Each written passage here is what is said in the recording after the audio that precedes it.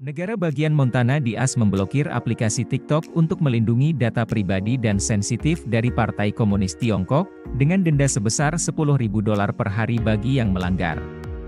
Rolling Glory Jam, studio game asal Bandung, akan merilis game petualangan terbarunya yang berjudul Hello God Boy pada 25 Mei 2023 di platform PC dan Nintendo Switch.